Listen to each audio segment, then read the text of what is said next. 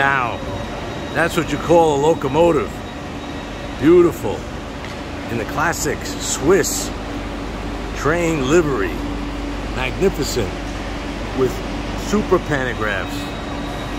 The SBB CFF FFS.